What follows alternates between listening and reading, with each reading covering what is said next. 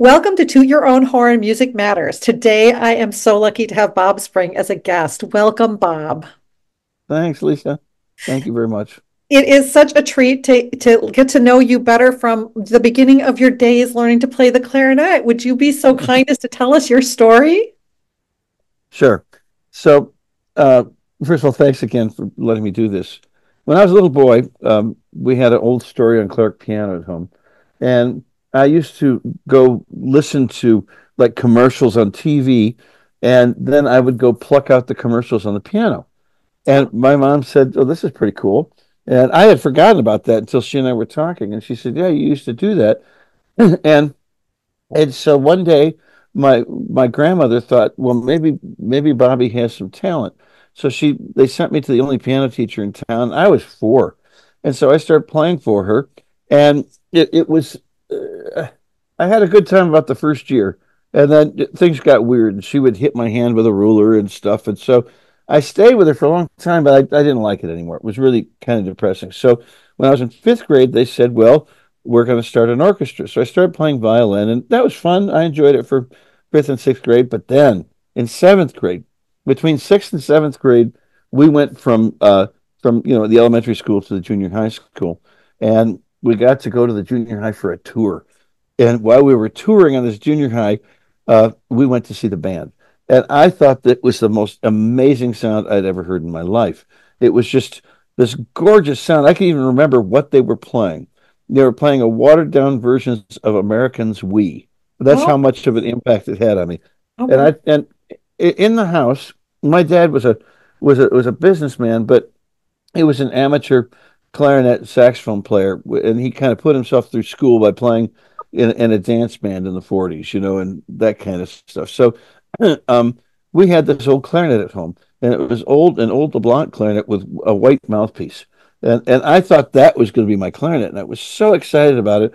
And then just beforehand, I they said we got you a new clarinet. And I, I was actually disappointed because I liked the white mouthpiece. But they they went to a, a music store in town called Grinnell Brothers, and they rented for me an old Conn plastic clarinet, and and I was so excited about playing this clarinet, just really excited about playing it, and I just wouldn't put it down. In fact, I was kind of an idiot about it. Uh, it I set it on the floor in junior high band, and somebody kicked it over. I didn't know you had to have a peg, and it broke in half. So I still have that clarinet, but they glued the tenon on back on. It. Acoustically, it's an absolute wreck, but it, it did it did work for me at that time, and uh, I really loved it, and I played through junior high school. And at the end of junior high school, the, this was in, in '68, and things were getting pretty wild in the in the United States, and I grew my hair long and everything. And and the band director really had a problem with me, and I'd always been first chair. And on the very last week of junior high band, he said, "Okay, we're going to have auditions on this piece," and he just handed out this piece, and he moved me down to fifth chair and it was his way of of just kind of shafting me. So then to get into the high school band, uh, the, the the high school band director um, listened to what he said, and he, he said, well, "I don't want you in my band." And the only way he would let me into high school band was if I went to summer school and studied clarinet with him in summer school. And he was a he was a trumpet player. It was just I don't understand what happened, but in any event, I got in the high school band. But he told me this is my favorite line: "You're not good enough to play clarinet, but we'll put you on bass clarinet." and so, so I played this old LeBlanc bass clarinet, and I remember it had one of those necks that came straight in. And I, on my own, I didn't have any lessons. On my own, I figured out, you know, if I put it under the chair, it would it would come in a better angle, and I could play more notes, and I could get higher and stuff. And until he yelled at me and told me, no, I had to put it up in front of me, and then my head was tipped back like that. It was anyway. So I played in high school band, and then as a junior in high school, I uh, I, I decided that I, I, I really wanted to be a music major. and my dad tried to talk me out of it. I mean, he was really a big business person, and he at that point teachers were having well, they're all having always having a hard time, but really having a hard time in Michigan.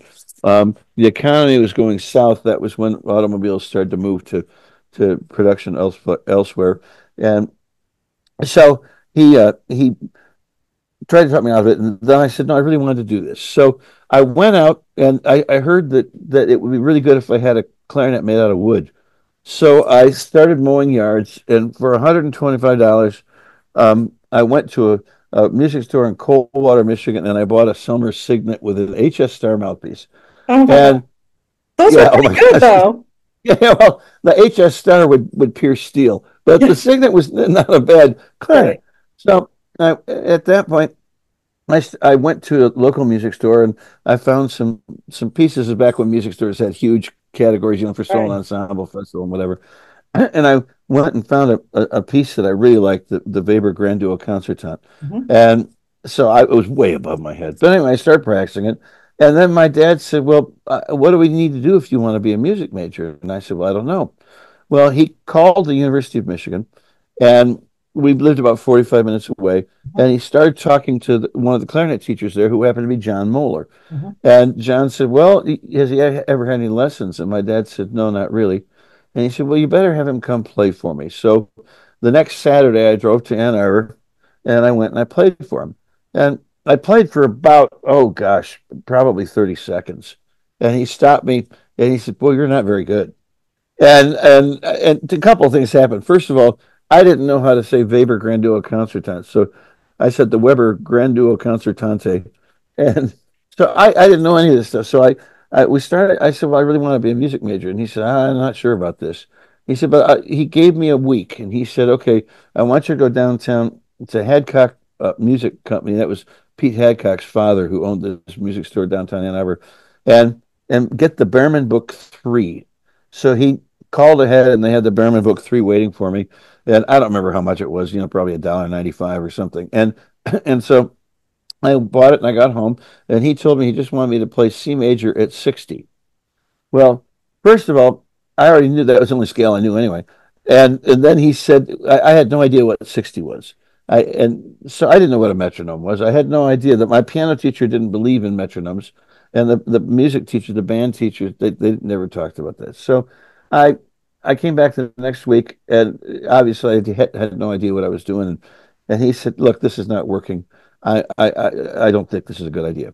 Well, I actually started to cry, and and and and I, I said, "But I, I want to be a music major." And he said, uh, "You're just too far behind." And I said, "Well, teach me. Promise. I promise you, I'll do everything you tell me." Well, he spent the next forty-five minutes with me, just like showing me everything that he needed to show me about how to practice, where to buy a metronome, uh, what the metronome meant. It they I started out with one of those Seth Thomas wind up things, and then I finally got a Franz electric one. But he he was showed me everything, and he showed me how to practice. And he told me you know, different reeds, different mouthpieces. And that was the day that he opened his cabinet and he said, One of my students is trying to sell a buffet clarinet. She's leaving music, and I'd like you to consider it. And the serial number I can still remember was 98174. And she wanted $250 for it. So my dad figured out how to get $250 and we bought the clarinet. And then I took it to this guy in Lansing because it needed some work. It was Bob Scott. And he said, I'd like you, I'd, I'd like you to work this, make it work better. And by the time I got it back, I thought it was amazing. And that was that lesson where he took all that time with me was the last unprepared lesson I ever had in my life.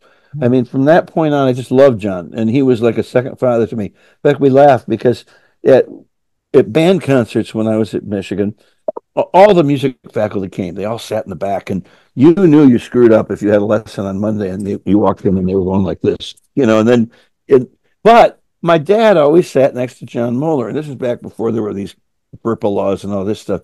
And he and John talked all the time, and they actually became good friends. My mom and John, and and uh, and it, it's funny because when I got married to Lynette, uh, John came to the wedding and and he he never came to anybody's weddings, but he came to mine, and he he this is off, but I'll get back on that. He he he bought us a blender. Now the, the good thing about this blender was John didn't drink, and he was always preaching about the evils of alcohol. And he didn't drink. So one time we decided to put rum in there to make some daiquiris, and it burned out. never works again. Seriously, that's hysterical. John said, "Yeah, I told you about the evil." So anyway, um, I, uh, the first year we had band auditions. Uh, everybody had to play in a marching band at Michigan, and we had band auditions, and there were probably 50, 60 clarinets audition, and it had to be 60 because I, I was chair 55. I mean, I was way on the bottom. I, I just didn't know anything. And I went to John and I, and I said, Dr. Mohler, I'm really disappointed. I don't know what what am I doing? How can I get better? And he said, helped me set up a, a practice schedule.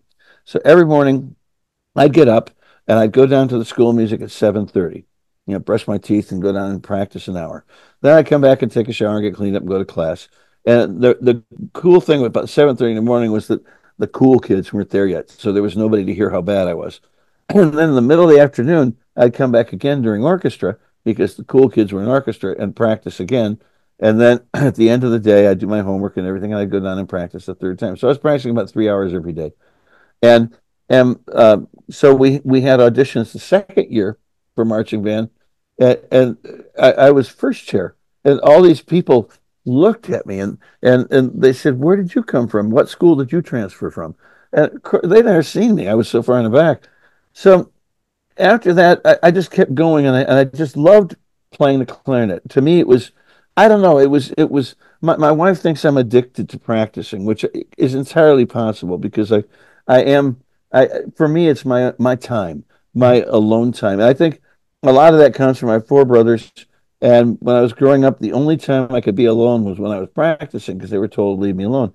And my dad even built a practice room in the basement for me, so so it was my alone time. I think still today, that's that's how I feel about it. Even when my daughter was growing up, when I was practicing, nobody bothered me. It was always kind of a thing like that.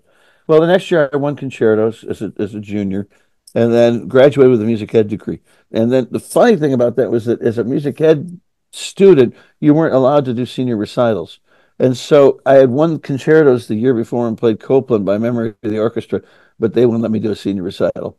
So John went and petitioned it, and we did it, and it was great. And then I, I went and did my master's degree after that. And uh, John had gone on sabbatical, and Dave Shifrin was teaching there. And so I I studied with Dave Shifrin for a year, and the master's degree at Michigan was just a year long degree at that point. So I, I, I went through it, and then I thought I was going to take the world by storm. So I'd practiced all these excerpts and all this stuff, and I and I went and auditioned for the New Jersey Symphony, and I thought, wow, this is going to be cool. And I walked in, and there were 275 other people that were auditioning for the New Jersey Symphony, all playing Capriccio Espagnole at about 120 decibels and at about 240. You know, it was just and so after going through that experience, obviously I didn't get the job. after going through that experience, I thought I, I don't want to go this route. So I went back home and I, I taught junior high band for a year. And, and and it was fun. Actually, it was it was really good because I learned so much about organization. Uh, like first of all, I wanted to keep playing, And so I would get to school an hour before the kids came in in the morning, and I would stay an hour after they left at night, and then I would practice at home. So it was the the whole thing was I was able to to keep going. then, then the next year, this was in '79, and and jobs were were not readily available. I mean, it was kind of a recession, and uh, the jobs were different back then. I mean, they're they're kind of that way again now, but it was clarinet and you know, and so I was actually hired at, at Morningside College, which is now Morningside University in Sioux City, Iowa, as the marching band director and those four years of marching band at Michigan actually paid off because they got me a job that also taught clarinet.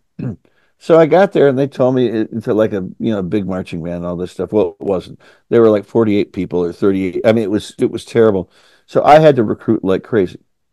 So I spent six years at Morningside College, and a lot of it was learning how to recruit. A lot of it was getting along with the other faculty, learning how to organize as a band director, and the recruiting paid off because in the end I had a a huge group of clarinets, and I taught saxophone too. So huge group of clarinet and saxophonists. And so then a job opened at uh, West Texas State University, which is now West Texas A&M University. During the time I was at Morningside, you know, I always joked about Sioux City. It's not the edge of the earth, but you can see it from there.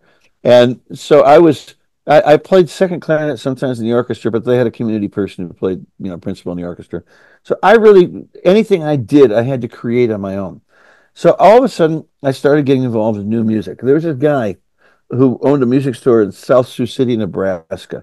His name was Jay Wicker, and and it was Jay's music. And Jay specialized, you know, in band music and choir music, but he had a whole room full of solos, primarily aimed at kids that wanted to go to solo and ensemble contests. And these solos were on the list, the approved list. But he told me once when I went over there that in order to get the music that he wanted at a at the price that he needed to make a profit, that he had to buy new music. And so he, he said, you know, are you interested in new music? I said, yeah, yeah. So he used to put it all in a Coors beer box, big Coors beer box, and called it on the side, he wrote in magic marker, Bob's Bin. And he would throw music in there. And when he got enough in there, he'd call me and he'd say, come on over. So I'd go over and look. And while I was there, I found some incredible pieces that changed my life. And and one of them was Joan Tower's Wings. Mm-hmm. And, and it was just sitting in there. And, and I bought that and I started working on it. And eventually I recorded it when I got here.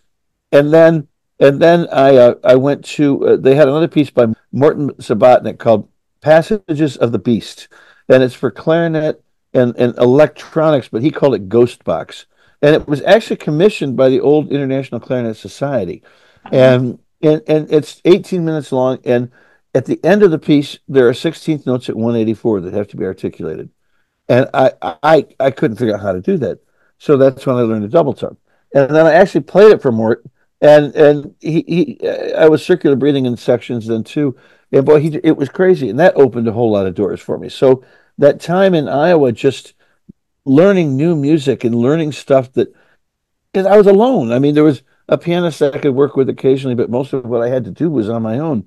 And I did whole recitals of unaccompanied clarinet music. I probably bored the heck out of everybody there, but they seemed to enjoy it. So then this job opened at West Texas State, and this was in. Uh, 1985. And and uh, I, I, a colleague of mine at Morningside College had gone to school there, and he recommended that I apply. And I applied, and I don't know how, but I got an, I got an interview. I mean, I'm not a Texan. I, I, I wasn't actually their first choice at the beginning, and so I I went and I and I did the interview and the audition, and it went pretty well. But there were some some things I learned from the interview that were really. There was, there was a guy there who played for me, and and he was kind of a smart aleck, and and he uh, he kept squeaking when he was going to the uh, clarinet E flat. He kept squeaking every time, and I said, "So Jim, why are you squeaking there?" And he looked at me and said, "I don't know. You tell me. You're supposed to be the teacher." And I said, "Well, you don't. If you see me one hour a week and you're practicing two hours a day, who's your teacher the other four, 14 hours?" And he, and he just looked at me, and the and the the faculty were really they thought, "Wow, that was a great answer." Turns out what he was doing was he was hitting the side E flat B flat key right. when he came down every time. So when I told him that, he said, "Oh, well, thanks." and, and but I taught there for three years, and and and I, I finished my doctorate during that period of time, and uh, actually started it when I was living in Iowa, and I, I, I went back and got it with John Mohler at Michigan because at that point he was producing so many students in college job situations, and that's what I wanted to do. Um, so I, I finished my doctorate while we were there, and this job opened at, at Arizona State. Now, the other thing that happened was uh, again, uh, I had some of the opportunities were not. When I moved there, I was promised that I would I would be playing with a, a quintet, the West Texas State Quintet, and I'd be playing principal clarinet in the Amarillo Symphony. Well, when I moved there, the guy who was playing principal in the Amarillo Symphony refused to quit, and it was a separate job, and, and it was nobody. And then the quintet didn't happen. So I had to create another time. I had to create my own performance life. So the percussion teacher there, Susan Martin, was one day she said to me, "Are you interested in doing a recital together?" So all of a sudden, I got this whole repertoire of clarinet and percussion music that actually then paid off when I came to Arizona State for 33 years. J.B. Smith and I played together, and it was remarkable. We had such a good time. Um, so I, I interviewed at, at, at, ASU. I applied for it late. John Mohler sent me the, the, the job notice, and I applied for it.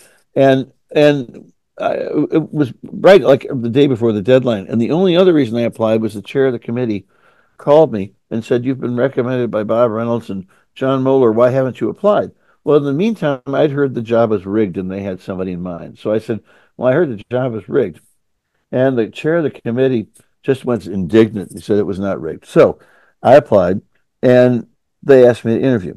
But the, the funny part about that was I wasn't supposed to get the job. Somebody else was supposed to get the job. I got there, and, and it was a, a really weird interview, really very strange interview.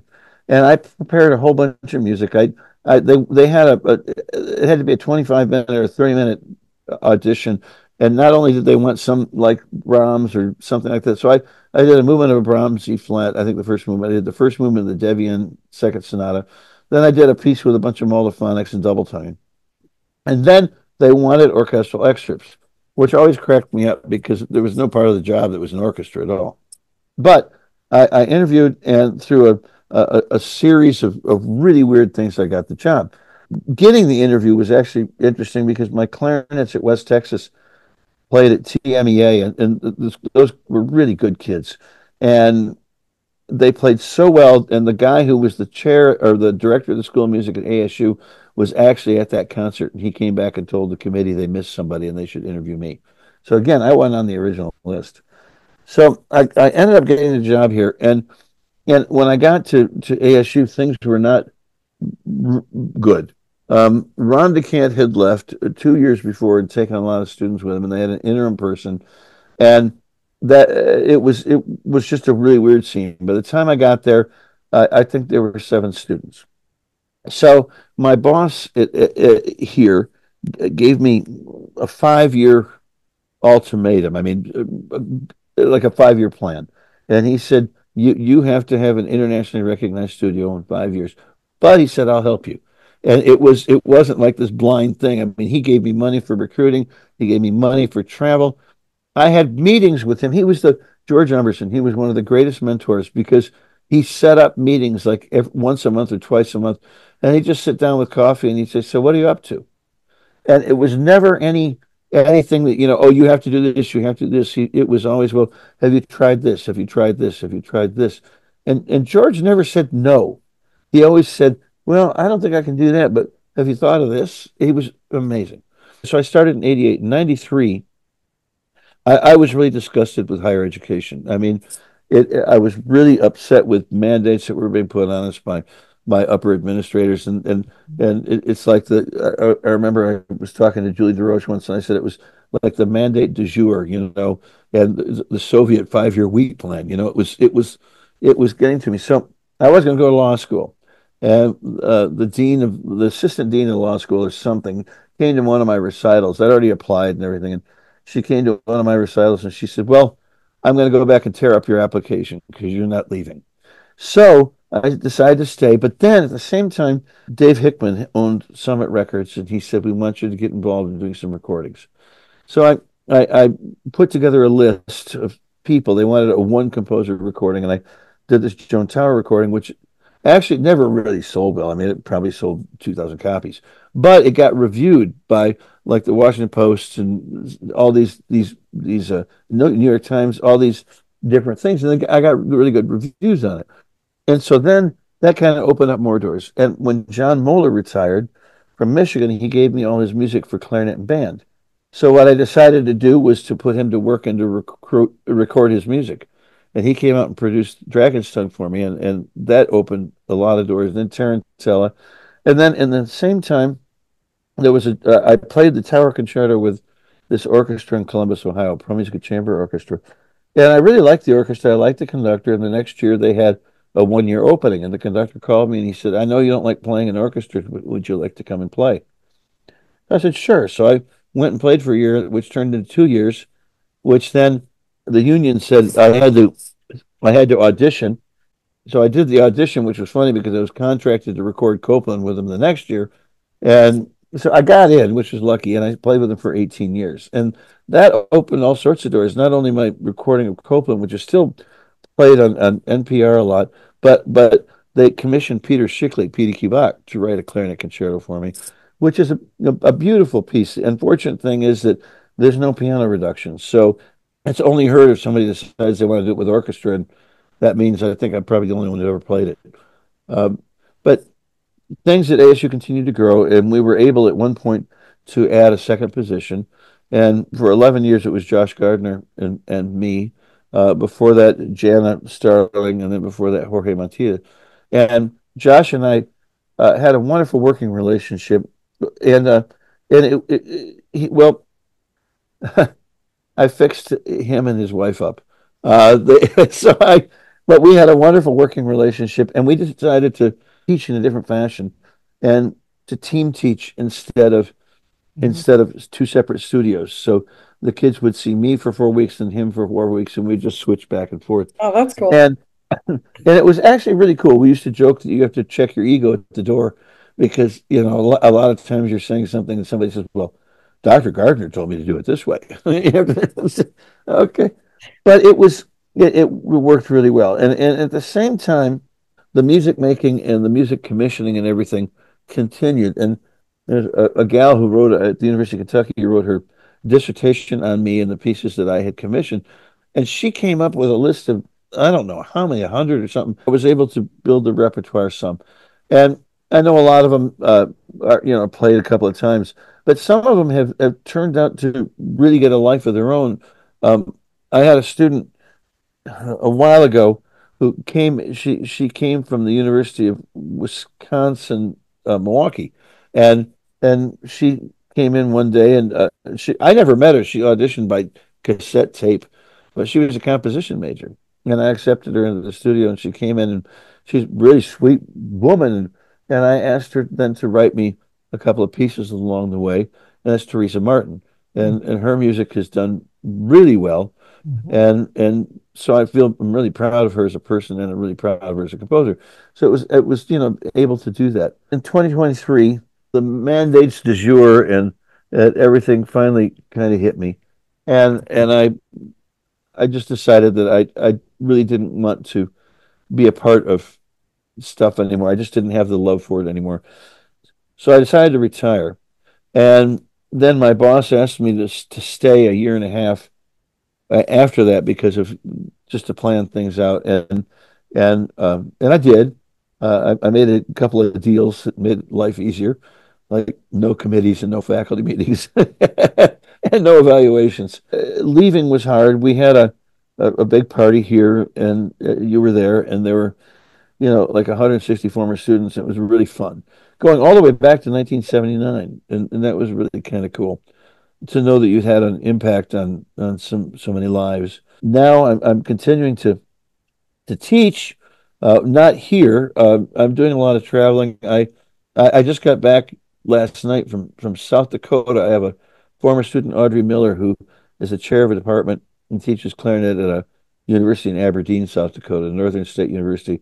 And I was up there for her band day and did some clinics for the kids and stuff. And and I was supposed to play, but uh, the night before the first rehearsal, we went to dinner and I broke a tooth off, and it, the pain is pretty bad. So I didn't play, but I did do some teaching and gobbled lots of aspirin and see the dentist on Monday. So it, it the, the life has been great, and you know I I tell students, or uh, told students like this past tense now, that that one of the things that that that always got me was my dad was worried about money. Would I make enough money? And the truth is that, now at the, at the end, when I'm retired, um, my retirement's great. I mean, I'm making more money than I did when I was teaching, and so that's spectacular. And the one thing was that I, told my dad once, and, this is when he changed. Uh, I said, Dad, there are more important things than money, and and I remember at that point thinking at that point in my career how happy I was doing what I was doing. And I was getting paid to come in every day and, and help people be creative.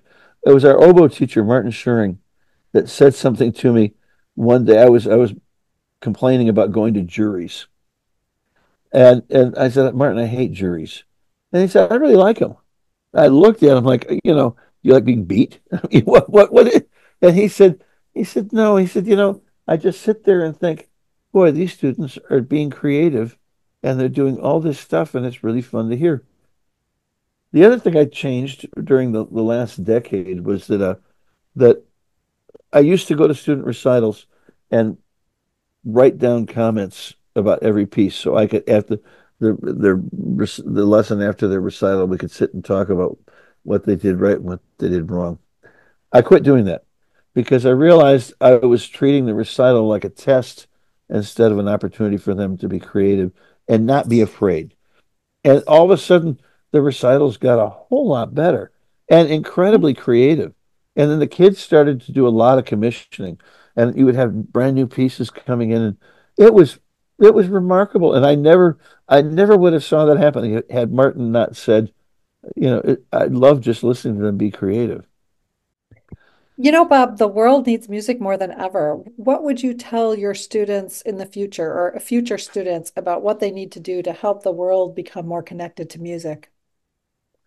Well, as seen, regardless of which side of the coin you're on, we, we live in a very divided time, extremely divided time. And in my own family, uh, with my brothers, um, you know, there are things you just can't talk about anymore because it's so divided. But the one thing that seems to unite everybody is a love of art. I think, you know, if you take two-year-old kids and you put them in a room that's painted white and you dump a box of crayons on the floor, they're going to color mm-hmm. because people, I think, have a need to be creative. And, and, and I think that need con- continues. And I think young people in particular have to have the ability to continue to express themselves and get these these emotions out without continuing to bottle things in. So I th I think like music education, I was telling the, the students up in South Dakota, this is probably the most important time in my lifetime for kids to be involved in music because it's something that bridges the gap with everybody. The other thing, I one of my brothers, who who was a music major actually, uh, he was a trumpet player and then left music, is now back playing with a brass band in southern Michigan.